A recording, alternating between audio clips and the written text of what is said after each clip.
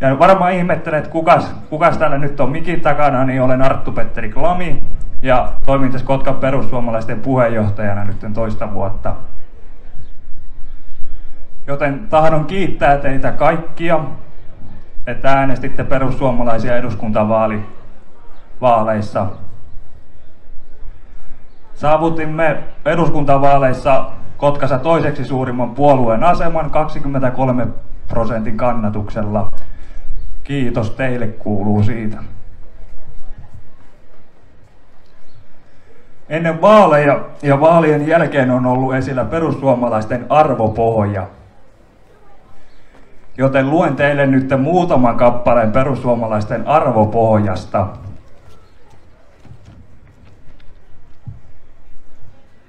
Perussuomalaiset on isänmaallinen ja kristillissosiaalinen puolue, joka edistää kansallista etua. Me arvostamme ja haluamme korostaa tavallisten ihmisten ääntä ja roolia politiikassa, kulttuurissa ja historiassa. Perussuomalaisten huomion keskiössä ei ole yksittäinen ammattikunta tai muu suppea eturyhmä, vaan suomalaiset kokonaisuudessaan. Olemme vanhanaikaisen ja epäoikeudenmukaisen eturyhmäpolitiikan yläpuolella. Isänmaallisen ja oikeudenmukaiseen politiikkaan kuuluu vähäosaisten, huonoonnisten ja syrjäytyneiden suomalaisten auttaminen. Haluamme tukea apua tarvitsevia ensisijaisesti oman maamme sisällä. Tätä kutsumme sisäiseksi solidaarisuudeksi.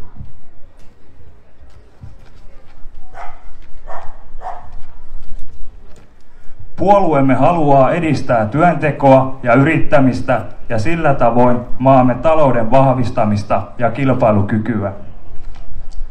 Perussuomalainen Suomi on myös kansainvälinen.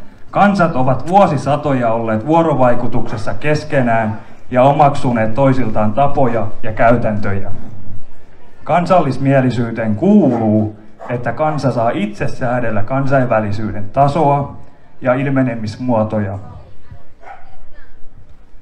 Kansainvälisyys edellyttää kansojen olemassaoloa.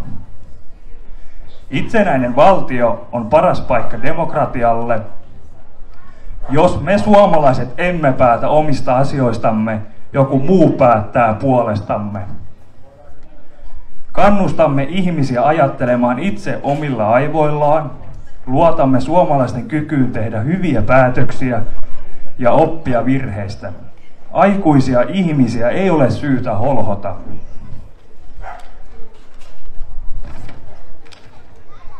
Perussuomalaisen politiikan huipulla on Suomen kansa, joka tavoittelee arvokasta, oikeudenmukaista ja hyvää elämää itselleen ja tuleville sukupolville. Tässä oli muutama ote perussuomalaisten arvopohjasta. Perussuomalaisten tarkoitus on puolustaa tavallista ihmistä, tavallista suomalaista. Ja täytyy ihmetellä suuresti, mikä on muiden puolueiden tarkoitus. Ilmeisesti suomalaiset eivät siihen kuulu. Kiitos teille ja seuraavaksi minulla on ilo ja kunnia toivottaa tänne mikrofonin äärelle kotkalainen kansanedustaja Juho Eerola.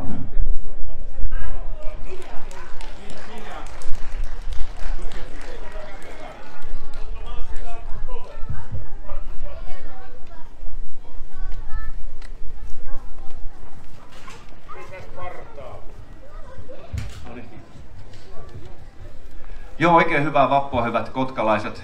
Mukava olla täällä Sapokassa tällä kertaa. Meillä on aika pitkä perinne näissä vappujuhlissa. Ollaan kymmenen vuotta suunnilleen järjestetty, järjestetty perussuomalainen vappujuhla. Ja ensimmäinen paikka, missä aina oltiin, niin oli toi Kotkan tori, mutta että siellä alkoi olla, olla niin paljon muita puolueita aina samaan aikaan puhumassa, niin täällä on rauhallisempi, rauhallisempi olla. Ja kiva nähdä, että olette kaikki löytänyt paikkanne tänne. Puoli vuotta sitten, joulukuussa, marraskuussa, kallupit näytti perussuomalaisille, että 8 prosenttia, 7 prosenttia. Ja täytyy myöntää, nyt uskallan sen sanoa, että silloin oli itselläkin vähän hiki, hiki nousi otsalle, että tuleeko tästä sittenkään yhtään mitään, että jäähän tällaiseksi pikkupuolueeksi. Mutta kuitenkin sinnikkäästi jatkettiin omaa työtämme ja, työtämme ja puhuttiin ja tehtiin sitä politiikkaa, mitä varten meidät oli sille edellisen kerran äänestetty. Ja sitten siinä vuodenvaihteen jälkeen suunta kääntyi, suunta kääntyi sinne, minne sen pitikin kääntyy. Mutta vielä vaali, vaali-iltanakin en olisi uskonut, että tulee niin kova tulos kuin mitä se loppujen lopuksi sitten oli, vaikka saatoin sanoakin, että kyllä tässä suurin puolue ollaan, mutta että todellisuudessa niin en, en uskonut. Ja tämä, tämä yllätti, yllätti kyllä, ei ehkä kaikkia, mutta että minut yllätti, yllätti ainakin. Ja iso kiitos siitä kuuluu teille, hyvät ihmiset, jotka äänestitte, äänestitte perussuomalaisia kaiken sen jälkeen, mitä meidän puolueelle tässä välissä oli tapahtunut. Uskoitte, uskoitte edelleen, edelleen siihen meidän asiaan ja olen siitä kovasti, kovasti teille kaikille kiitollinen. Kiitollinen olen myös perussuomalaisten kenttäväelle, sille jäsenkunnalle, joka usko edelleen tähän meidän asiaan myöskin. Joka paikassa, missä tämän vaalipiirin alueellakin kiersin, niin aina oli teltta samalla tavalla hienosti laitettu pystyyn. Kaikki vaalimateriaalit ja mainokset oli oli paikalla. Ja tässä haluan nyt julkisesti niin kiittää tätä meidänkin Kotkan perussuomalaisten porukkaa, joka mahdollisti tämän tuloksen osaltaan täällä. Kuten Arttu äsken kertoi, 23 prosenttia Kotkassakin kannatus. Se on mahtava tulos ja parin vuoden päästä kun on kuntavaalit, niin pyritään siihen, niin eihän meitä pidättele sen jälkeen täälläkään enää yhtään mikään. No, vaalit oli, vaalit käytiin ja tulos oli hyvä ja nyt on edessä eduskunnan, tai on tapahtunut eduskunnan järjestäytyminen, siellä on vähän pestejä jo jaettu, mutta se mikä on kaikkein eniten nyt tällä hetkellä edessä on hallitusneuvottelut. Antti Rinne niukin naukin nosti tai sai pidettyä SDPn suurimpana puolueena ja hän lähti sitten muodostamaan hallitusta ja kuten uutisista olette huomannut, niin sieltä tuli aikamoinen kysymys patteri, patteri puolueille ja viikonlopun aikana sitten kokoonnuttiin perussuomalaistenkin kesken ja sorvattiin niihin vastaukset. Vastaukset käsitteli päällisin puolin esimerkiksi ilmastoasioita ja niihin oli sinänsä helppo, helppo vastata, kun tehtävänanto oli, että, että sen mukaan mikä on puolueen ohjelma ollut, niin me sitten vastattiin. Ja nyt odotetaan ja mietitään ja katsotaan, että mitä, mitä se Antti Rinne niihin meidän vastauksiin sanoo jonkun verran se jo eilen niitä kommentoikin ja pyytää tarkennuksia. Ja tämä, tämä tarkoittaa sitä, että pelissä ollaan edelleen mukana ja annetaan tarkennuksia näihin vastauksiin. Meillä on, on tosiaan pyrkimys siihen, että päästään mukaan hallitukseen. Se on se paikka, mihin te olette äänestäneet meidät eduskuntaa, mutta että jos jossain haluaa vaikuttaa, niin se on silloin hallitus, mikä on, on pyrittävä. Mutta ei sinne pidä mennä itseään myymään, antamaan periksi omista periaatteista. Pakko sanoa, että edellinen kerta, kun hallitukseen mentiin, niin liian helposti myyntiin nahkamme. Ihmiset eivät saaneet sitä, mitä olivat tilanneet, kun olivat perussuomalaiset eduskuntaan silloin äänestäneet ja hallitusvastuu meille tuli. Silloin meni moni asia mönkään. Ja siitä oikeastaan sitten juonsi juurensa sekin, että päätettiin, päätettiin silloin muutama vuosi sitten, että nyt pitää perussuomalaisessa tahti muuttua. Otettiin ihan selkeä suunnitelma, millä puolueen johtoa, johtoa koitetaan uudistaa ja samalla oli tarkoitus, että muutama ministeripaikkakin oltaisiin vaihettu, mutta se jäi silloin sitten haaveeksi, paitsi se, että puolueen johtoa kyllä onnistuttiin muuttamaan, mutta että ministeripaikat ja se linjan kääntäminen hallituksesta käsin silloin ei onnistunut. Nyt on tahti toinen ja nyt kun ollaan menossa hallitukseen, niin sinne mennään siten, että omaa linjaa ei muuteta ja ne, jotka on meitä äänestänyt, saa sitä, mitä on tilannut. Tämä on meillä nyt kirkkaana opetuksena mielessä siitä neljän vuoden takasesta. Vappu, kuten tiedätte, on opiskelijoiden ja työväestön juhla. Tässä on semmoinen asia, jotka harvoin muistetaan, että nämä kytkeytyy tiiviisti toisiinsa ja se on ongelma, mikä tämän tulevan hallituksen ihan riippumatta sitten siitä, että ketkä siellä hallituksessa on, niin niiden pitää ottaa tähän kantaa. Meillä on nimittäin, tai eikä pelkästään ottaa kantaa, vaan tehdä muutos. Meillä on Suomessa suht hyvä työllisyystilanne ja se paranee, mutta ongelmana on myös, että on paljon työttömiä. Ja se liittyy tähän opiskeluun ja koulutukseen. Meillä on moni kymmentä vuotta kestänyt aika Suomessa, jolloin on koulutettu väärille aloille ihmisiä. Eli on korkeastikin koulutettuja ihmisiä, jotka ei, ei löydä koulutustaan vastaavaa työtä. Ja tämä on yksi sellainen kohtalon kysymys Suomella nyt, mihin pitää oikein vakavasti ottaa kantaa ja tehdä muutoksia. Eli koulut, kun ihmisiä koulutetaan, pistetään opiskelemaan, niin sen pitää olla sen opiskelun sitä, että se johtaa sellaisille aloille, josta sitten löytyy, löytyy myöskin työpaikka. Eli päästään pois tästä ongelmasta, mikä meillä on nyt, että on avoimia työpaikkoja, joihin ei löydy tekijöitä, mutta sitten samanaikaisesti on valtava määrä koulutettua väkeä, jotka ei sitten taas löydä töitä, kun on kouluttauduttu täysin väärille aloille. Tämä on se kysymys, mikä Suomen on nyt ratkaistava ihan riippumatta siitä, ketkä on tulevassa hallituksessa. Niin koulutuksen ja työpaikkojen on vastattava sillä lailla toisiaan, että jokainen löytää, löytää töitä. Nimittäin tässä on tämä meidän yhteiskunnan tämä rahoituspohja, koko hyvinvointivaltio ja kasvava iäkkäämpien ihmisten määrä. Tämä asettaa meille sellaisia haasteita, että ei ole varaa siihen, että täällä on väkeä, väkeä työttöminä. Sitten en meina puhua tässä nyt pidempään. Täällä on, täällä on nimittäin kaksi muutakin puhujaa vielä odottaa tuolla lähtökuopissa vuoroa ja heillä on myöskin tärkeä asia, mutta että muutama sana aasinsillaksi liittyen siihen, mitä, mitä he tulevat kohta tähän puhumaan. Nimittäin se, että ollaan nyt just päästy eduskuntavaaleista, niin meillä on heti perää eurovaalit. Kerran 20 vuodessa sattuu niin, että kun eurovaalit pidetään viiden vuoden välein ja, ja sitten tota, eduskuntavaalit neljän vuoden välein, niin lyhyellä matematiikalla minäkin osaan laskea, että kerran 20 vuoteen nämä vaalit sattuu, sattuu samalle vuodelle. Olen ollut vähän huolissani siitä, että ihmiset ei ole kovin innostunut näistä eurovaaleista, kun pitäisi nimenomaan olla. Näissä pitäisi äänestää yhtä aktiivisesti, 72 prosenttia vähintään, tai mieluummin enemmänkin, pitäisi saada äänestämään näissä eurovaaleissa. Ne on nimittäin, uskokaa tai jälkeen, mutta ne on oikeastaan niin kuin lähestulkoon tärkeimmät vaalit, mitä on. Ne on paljon tärkeimmät kuin vaikka presidentinvaalit, jossa melkein joka suomalainen äänestää. Me on kahdeksan vuotta nyt ollut eduskunnassa ja olen huomannut, mikä on EU-vaikutusvalta Suomeen. Se on suunnilleen lähestulkoon 80 prosenttia meidän päätöksenteosta tulee Brysselistä. Sieltä tulee direktiiviä, sieltä tulee asetusta ja meille lähinnä sanotaan, että saattakaa nämä voimaan Suomessa. Se on jonkun verran kansallista liikkumavaraa, mitä voi tehdä, mutta paljon mitään ei voi tehdä. Ne on otettava käyttöön, mitä sieltä EU sanoo. Ja tässä on nimenomaan se ongelma, kun sitten suomalaiset ja mitkään muutkaan eurooppalaiset eivät oikein taho niissä eurovaaleissa äänestää, niin silloin sillä ei ole kansan mandaattia, mandaattia kovin vahvaa sillä Euroopan parlamentilla. Ihmiset sanoo minulle, että eurovaaleissa ei kannata äänestää, kun Suomesta valitaan niin va- vähän niitä meppejä, eli Member of European Parliament. Siitä tulee se meppi. Eli kun vaan 13 tai nyt 14 suomalaista sinne valitaan, niin eihän sillä ole mitään päätösvaltaa, kun siellä on porukkaa yli 700 yhteensä. Mutta tämäkin on väärin.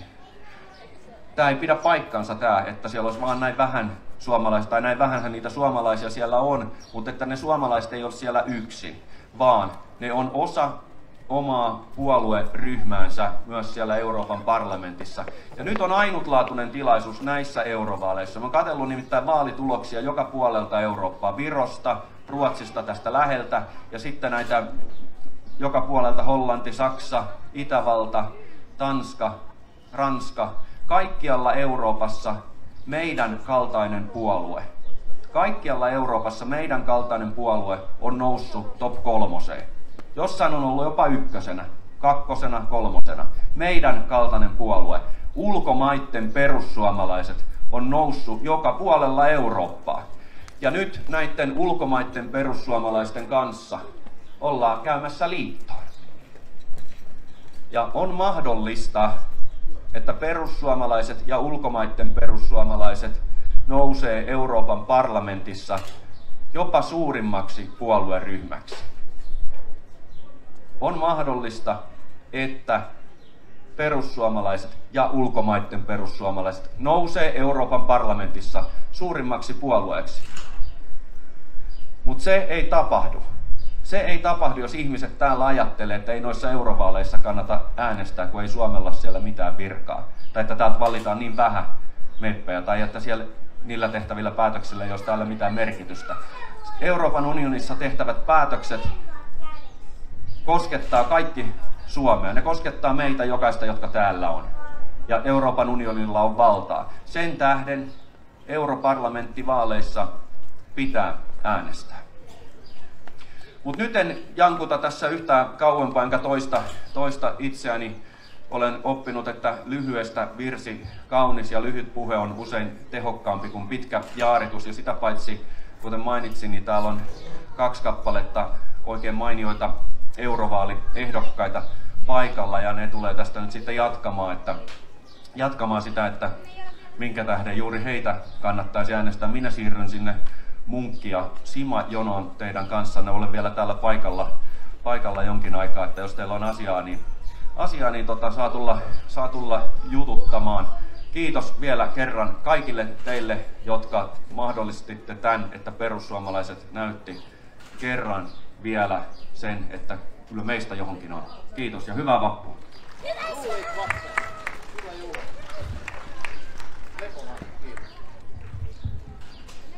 Hyvää päivää. Kuuluuko? Pitääkö ottaa aurinkolle pois?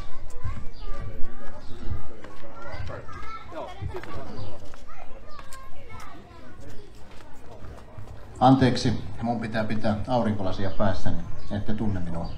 Vitsi. Täällä on sen verran aurinkoista, että mennään muuten lukea. Yleensä pystyn puhumaan ilman kirjoitettua puhetta. Tunteja. Te ette jaksaisi kuunnella, siksi kirjoitin 11 minuutin puheen. Arvoisat kansalaiset, muut perussuomalaiset ja hyvä rahvas. Sain kunnian pitää lyhyen vappupuheen kansanedustaja varapuhemies Juho Eerolan jälkeen. Kiitän omasta puolestani jo etukäteen luottamuksesta sekä siitä, että me perussuomalaiset olemme päässeet suurimpien puolueiden joukkoon tässä maassa. Nyt kun eduskuntavaalit ovat jo takanapäin ja suomalaiset täysin kyllästyneinä, täynnä vaaleja, vaalimainoksia, mainontaa, puheita sekä itseään kehuvia poliitikkoja, onkin edessä seuraavat vaalit. Vaalit, joissa me suomalaiset saamme antaa äänemme Euroopan, Euroopan parlamenttiin pyrkiville ehdokkaille. Itsekin olen siinä joukossa numerolla 158. 158. Karri Ollila 152, joka pitää pienen puheen minun jälkeen. Ja haluankin nyt kertoa vaaliteemoistani niille, jotka eivät niitä ole jostain lukeneet, jostain kuulleet, tai eivät ole muuten vain aikaisemmin olleet niistä kiinnostuneita. Kun perussuomalaiset asettivat minut ehdokkaaksi EU-vaaleihin, tällaisen kunnian saatuani annoin itseni puolueen käytettäväksi poliisina, vuoropalomiehenä, turvallisuuskouluttajana ja portsarina lähes 20 vuoden ajan toimiessani olen nähnyt ja kokenut paljon. Erityisesti Tornion järjestelykeskuksen perustajajäsenenä ja rekisteröintiryhmän johtajana vuoden 2015 ja 2016 turvapaikka-aallosta opin Suomen maahanmuuttopolitiikasta paljon sellaista, joka vaatii pikaista muutosta. Vaikka tietämykseni hallitsemattomasta maahanmuutosta Suomen osalta on laaja, on minulla myös muita teemoja. Itsekin sisäilmasta sairastuneena ja altistuneena on mielestäni Suomen sisäilmaongelmat tuotava avoimesti ja mitään salaamatta esille kansalaisten tietoon. Koska kuulumme Euroopan unioniin, on sieltä saatava asioihin rahallista tukea. Tämän lisäksi luonto on erityisen lähellä sydäntäni. Suomalainen puhdas luonto on asia, joka on meille arkipäivää. On huomioitava, että se on meidän kansallisaarteemme, joka tulee säilyttää puhtaana myös tuleville sukupolville. Siis hallitsematon maahanmuutto, sisäilma-asiat ja luontoarvot. Siinä vaaliteemani. Ei tää loppunut vielä, älkää lähteä.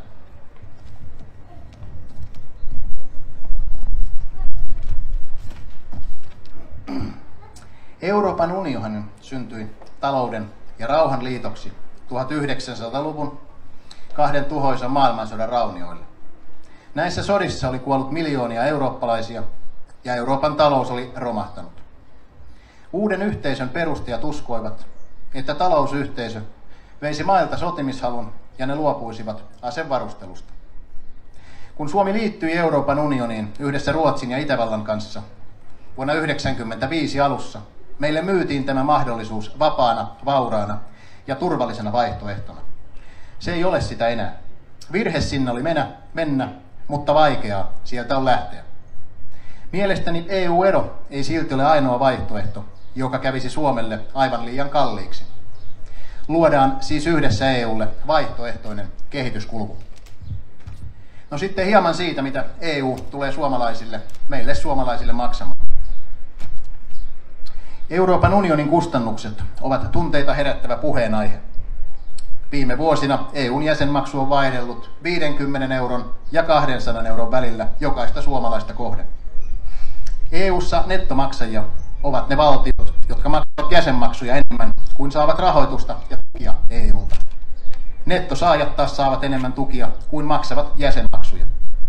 Suomi on ollut EUn nettomaksaja jo vuodesta 2001 lähtien.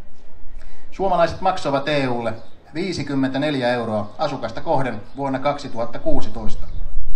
Nettomaksu oli laskenut jyrkästi lähes puoleen, eli 294 miljoonaan euroon edellisestä vuodesta. Näin Suomi oli pienin nettomaksaja Italian ohella suhteessa bruttokansan tuloon vuonna 2016. Maksu vaihtelee muun muassa rahoitushankkeiden toteutumisen aikataulun takia. Vuonna 2016 Suomi maksoi EU-maksua 1,8 miljardia euroa, mutta sai vain puolitoista miljardia euroa tukia ja rahoitusta muun muassa liikennehankkeisiin, maataloustukiin, korkeakoulutukseen, turvallisuuteen ja maahanmuutosta aiheutuviin kustannuksiin.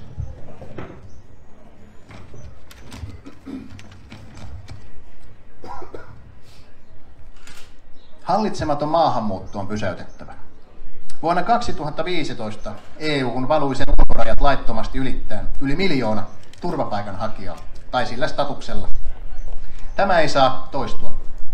EUn kyvyttömyys toimia johti usean jäsenmaan sosiaaliturvajärjestelmän vakavaan rasittumiseen, yhteiskunnallisen kohesion murentumiseen ja sisäisen turvallisuuden heikkenemiseen.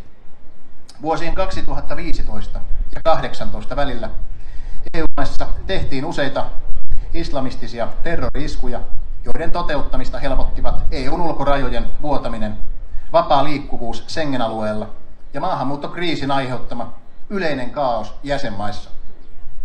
Maahanmuuttokriisin johdosta monet EU-maat ovat syksystä 2015 lähtien toteuttaneet väliaikaisia sisärajatarkastuksia.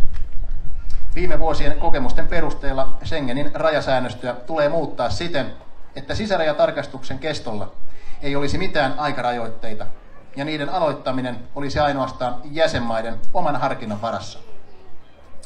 Muun muassa Afrikan väkiluvun moninkertaistuminen tämän vuosisadan aikana ja lähi poliittisten kriisien venyminen tarkoittavat sitä, että maahanmuuttopaine EU-hun ei tule laantumaan missään nimessä.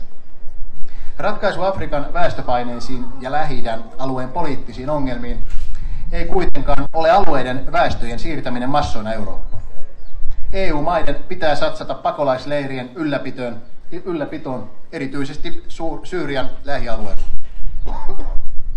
Anteeksi, mulla vieläkin pikkusen lunssa. Mikä mahdollistaisi pakolaisille inhimillisen elämän edellytykset ja nopean paluun kotimaahansa olosuhteiden parannuttua. Erityisesti Saharan eteläpuolisen Afrikan kehitysapupanokset on taas suunnattava siten, että ne oikeasti tukisivat kestävää kehitystä ja yritystoiminnan edellytyksiä. Kaikessa avustuksessa tulee seurata ja tutkia vaikutuksia.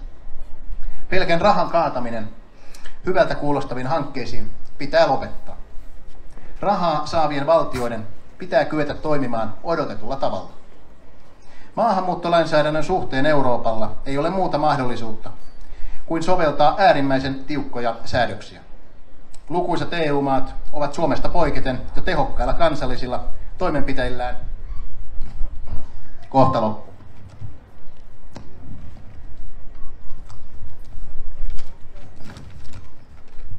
Laskeneet oleskelulupia, perheen yhdistämisiä ja sosiaalietuuksia koskevat säädöksensä unionilainsäädännön ja kansainvälistä pakolaisuutta koskevien sopimusten minimirajalle.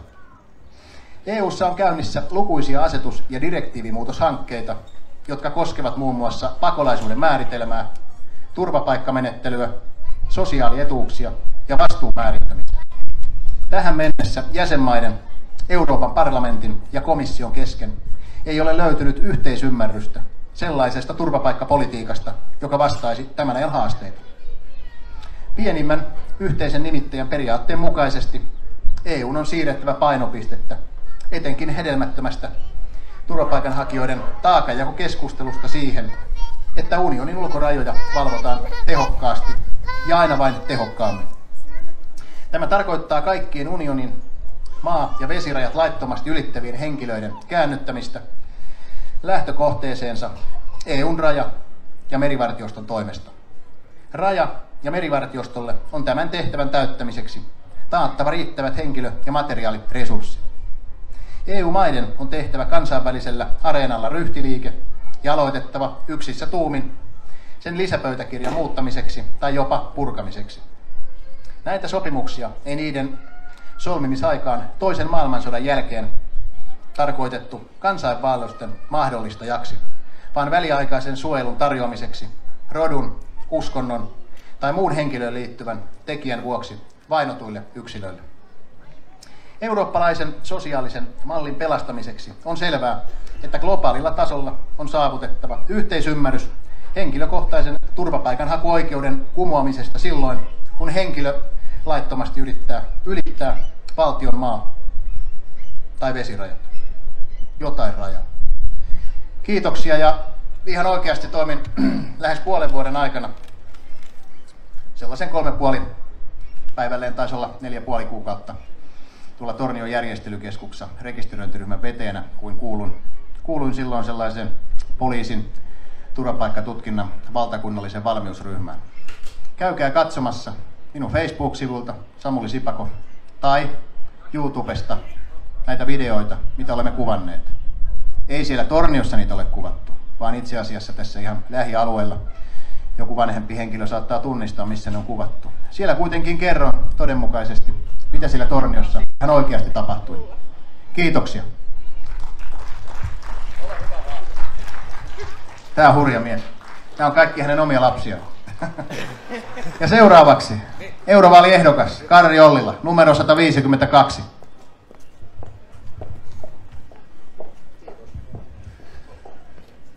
Kiitos Samuli.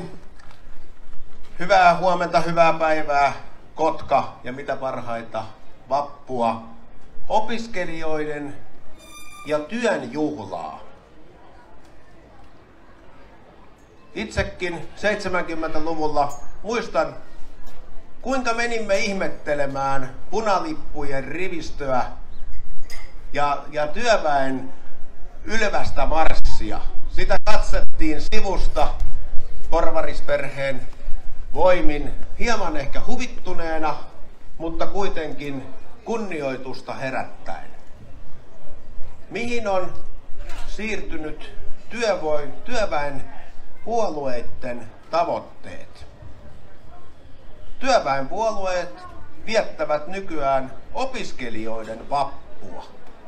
Opiskelija ei vappuna kysy, kuka maksaa, ei murehdi aamuisesta krapulasta, vaan juhlii ja nukahtaa haalareihinsa. Ainoa, mikä nykyisiä työväenpuolueita yhdistää työväen asioihin, on ehkä nämä opiskelijoiden haalarit. Kemin biotuotetehtaan julkaisu osui hallitustunnusteluiden keskelle. Se osoitti sellaisia jakolinjoja, joita media ei ole pystynyt osoittamaan. Metsägrupin biotuotetehtaan julkaisu on vuosikymmenen journalistinen teko. Se osoitti uuden jakolinjan. Jakolinja ei ole enää työntekijän ja työnantajan välillä, työn ja pääoman välillä, vaan jakolinja on utopian ja todellisuuden välillä. Utopistipuolueet haluavat pitää utopiastaan kiinni silloinkin, kun kyse on suomalaisesta työstä, teollisuudesta, vientituloista ja ihmisten hyvinvoinnista. Utopia ei näitä takaa. Hyvinvoinnin takaa vain suomalainen työ ja yrittäminen. Ja sen takana on perussuomalainen liike ryhdikkäästi seissyt kaikki oman puolueen vaikeut, vaikka kaikkina oman puolueen vaikeinakin aikoina ensimmäisenä on ollut suomalainen työ ja yrittäminen ja sitten maailman parannus, jos aikaa ja rahaa riittää. Omat vaaliteemani eurovaaleissa keskittyvät niihin asioihin, jotka parhaiten tunnen ja joissa tiedän, että minulla on annettavaa. Metsä, koko metsäsektori, taimitarhalta sataman ahtaajan. Maatalous. Haluamme syödä jatkossakin suomalaista maailman puhtainta, antibioottivapaata, kasvinsuojelun jäämistä vapaata ruokaa, joka on tuoretta, lähellä tuotettua ja sen lisäksi työllistää 350 000 suomalaista. Ja jos eurosta puhutaan ja eurovaaleista, niin maatalous ja rakenne, rakennerahastot tai aluerakennerahastot, niistä saamme sen jäsenmaksun palautuksen. Eli on kansallinen etu, mitä enemmän pystymme maatalouden ja maaseudun kautta rahaa palauttamaan, niin sitä enemmän saamme jäsenmaksua takaisin.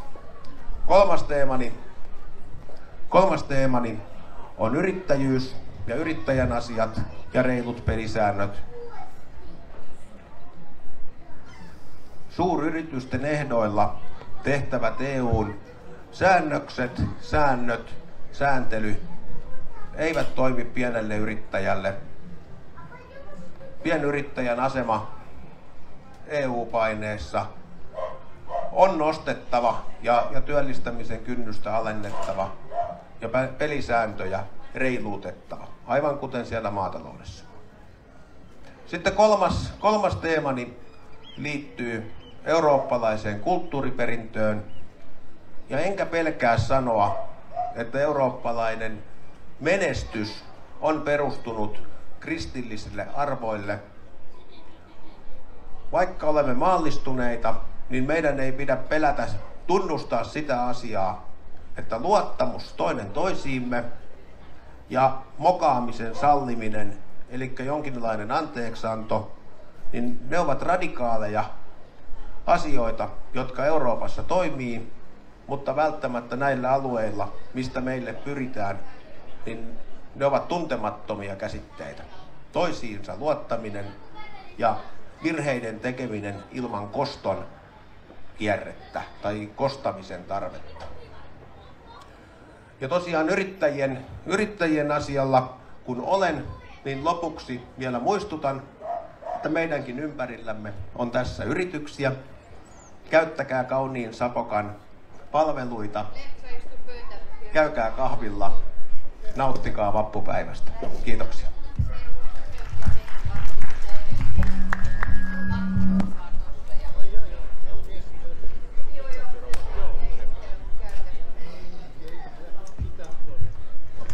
Kiitos vielä kaikille puhujille. puhujille. Annetaan vielä kunnon aplodit kaikille. Kiitos. Tai että kun on mahtavaa, saa kyllä taas nauttii.